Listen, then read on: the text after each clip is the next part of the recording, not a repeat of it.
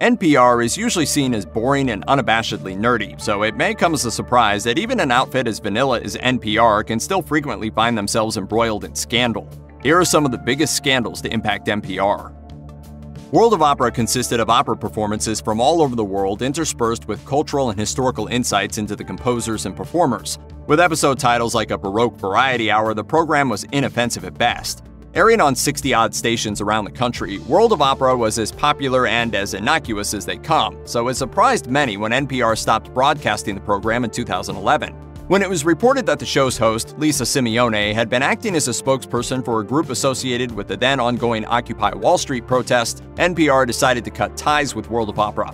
Many listeners accused NPR leadership of caving into people who claimed the station was taking a progressive stance. NPR CEO Joyce Slocum noted that NPR had ceased producing the show over a year prior, and that NPR hosts represent the organization and have standards to uphold. Simeone responded to NPR correspondent David Folkenflik, What is NPR afraid I'll do? Insert a seditious comment into a synopsis of Madame Butterfly?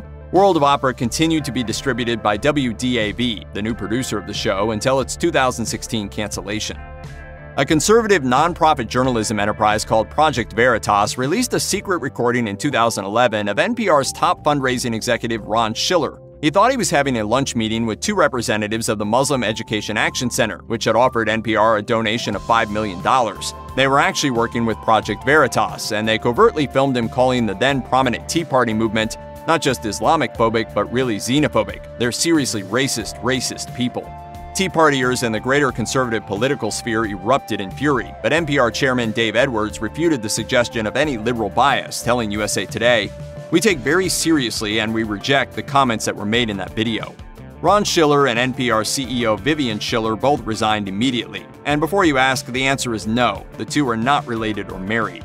The following week, the Republican controlled House of Representatives voted to end federal funding of NPR, but it was rescued by the Democrat controlled Senate. Originally started as a one time two hour special the week of September 11, 2001, On Point is one of NPR's longer running and popular call in shows. For most of that time, one man was at the helm Tom Ashbrook. Ashbrook was well respected by his peers and known as a fierce and opinionated host, and hailed as an excellent interviewer. When he was suspended in December 2017 and investigated by his employer, WBUR in Boston, for bullying as well as sexual misconduct, it shocked many. This was at the heyday of the Me Too movement, and Ashbrook's friends penned an open letter in his defense signed by some prominent names in the press, arts, and academia.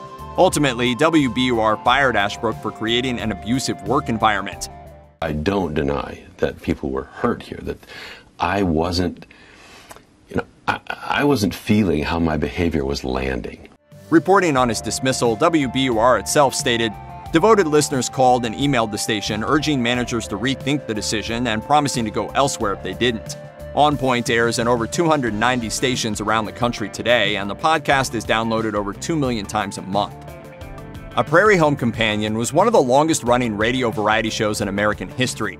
At its height, over 4 million people every week tuned in to over 700 public radio stations around the country to enjoy a live comedy and music show chaperoned by the mellifluous voice and terrible dad jokes of Garrison Keillor. The most successful Minnesota public radio star ever, Keillor also wrote several successful books and even starred in a celebrity stuffed Hollywood movie adaptation of Prairie.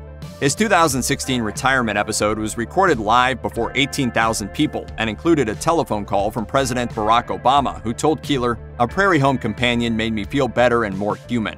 A year later, NPR announced they were cutting all remaining ties to Keillor amid an investigation into his workplace behavior. Allegations from a woman who worked on Companion claiming that Keillor had been engaged in sexual misconduct going back over a decade surfaced. The woman's attorney sent a letter to Minnesota Public Radio CEO accusing Keillor of unwanted sexual touching and numerous other inappropriate incidents. Not only was Keillor fired, but a Prairie Home Companion was renamed. In addition, rebroadcasts of old episodes ended and distribution of Keillor's daily program, The Writer's Almanac, was dropped. Keillor restarted The Writer's Almanac on his personal website, which also hosts old episodes of A Prairie Home Companion. Some news stories consist of tricky subject matter. The reporting must remain as fair and balanced as possible while presenting the facts. Making the story a debatable topic with seemingly no easy answer just adds to the hoops that must be jumped through to come off as unbiased and fair. Put simply, covering Israel and Palestine can be an extremely delicate issue for any news outlet. NPR has been accused of biased coverage of Israel often from both sides of the political spectrum. In fact, the Baltimore Sun reported in 2003 that NPR's then CEO attended the annual meeting of the Jewish Council for Public Affairs in order to stand up against accusations of the network's coverage. The progressive media watchdog group FAIR has reported frequently over the years that NPR's reporting on Israel and Palestine tends to take a default pro Israel stance. For its part, in 2014, NPR conducted a self assessment over 11 years of its coverage on Israel and Palestine. They concluded that their coverage lacked completeness, but defended its factual accuracy and did not find there to be any systematic bias. A veteran and Emmy Award winning journalist with over two decades of experience at The Washington Post, Juan Williams had been at NPR for 10 years when they let him go for comments he made on a Fox News program. Williams was a frequent guest on Fox, and in a late 2010 segment, he told host Bill O'Reilly that when I get on the plane, if I see people who are in Muslim garb, I get worried. I get nervous. Backlash from Muslim groups, politicians, and fellow media personalities was swift, and NPR fired him. In a statement, NPR said that Williams' remarks were inconsistent with our editorial standards and practices and undermined his credibility as a news analyst with NPR. This wasn't the first time Williams had violated NPR's code of ethics, said NPR CEO Vivian Schiller in an internal memo reported by Politico. And he'd been, quote, repeatedly asked to respect NPR standards and to avoid expressing strong personal opinions on controversial subjects in public settings, as that is inconsistent with his role. Backlash was equally swift against Williams' firing. Since he was one of the few prominent minority males at NPR, many were concerned with the optics of it. NPR's own Alicia Shepard said, I fear some will look for racial motivations in NPR's decision to fire Williams. Williams landed on his feet, though. CBS reported that Fox News signed into a $2 million multi year deal. NPR is public radio and depends on the public to survive. You can't go too long without hearing the soundbite informing you that the program you just listened to is made possible with the support of its listeners. But it turns out that much more of NPR's funding comes from corporations than from listeners or even from taxpayers. In 2015, the watchdog group FAIR conducted a study and concluded that NPR is lopsidedly funded and directed by corporate interests. In an article titled National Plutocrat Radio, FAIR describes how NPR's affiliates boards are filled with wealthy individuals with corporate ties. After studying the composition of the governing boards of the top eight NPR stations, FAIR concluded that three out of four NPR trustees are corporate executives. The New York Times pointed out that the majority of NPR funding is in the form of corporate sponsorship and affiliate fees, and not, as is their image, from individual listener contributions. This is in large part strategic. NPR has made a concerted effort to boost revenues by asking much more from wealthy donors. The Times reported in 2020 that around one third of NPR revenue comes from corporate sponsors, although that number is falling. Michael Oreskes was an old school journalist. He got his start in the New York Daily News before embarking on a 20 year stint with the New York Times and eventually settling down at NPR in 2015 as Vice President of News and Editorial Director. He didn't have a long tenure there. The allegations against Oreskes stretched far before his time with NPR, all the way back to the 1990s. His case prompted a rebellion among NPR staff, reported the Washington Post, and that NPR executives delayed addressing multiple sexual abuse allegations against Oreskes for nearly two years. This story is now about uh, NPR senior management, what they did or didn't know about these claims against Oreskes. According to the Associated Press, Oreskes had already been chastised by NPR for a 2015 incident in which he made a female staffer uncomfortable. Oreskes was asked to resign. The New York Times reported that he wrote a farewell letter to NPR staff in which he apologized, saying, I'm deeply sorry to the people I hurt. My behavior was wrong and inexcusable, and I accept full responsibility. Oreskes received an unusually stiff dismissal, fired without severance or separation benefit.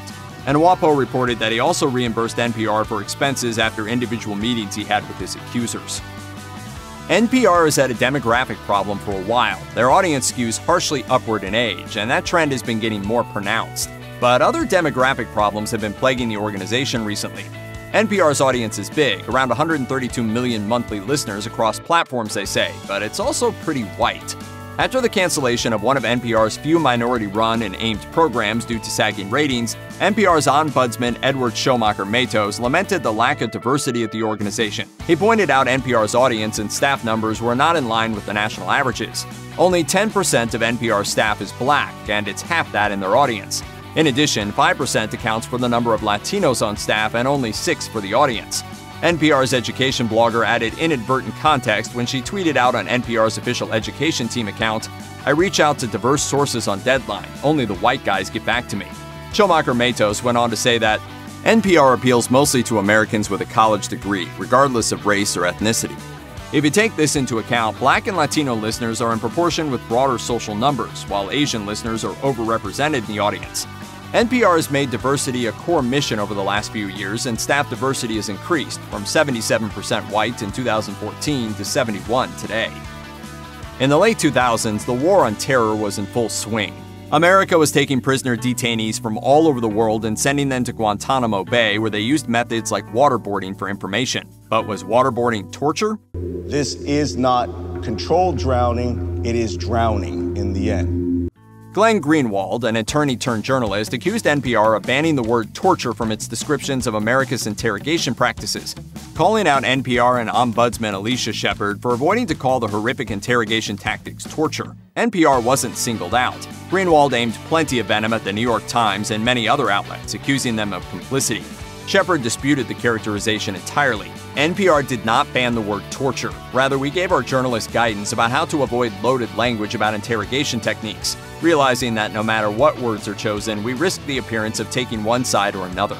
In 2014, President Obama candidly admitted that the tactics were indeed torture, and the New York Times rescinded its own policy of using the word torture, prompting NPR to clarify its own position on the matter.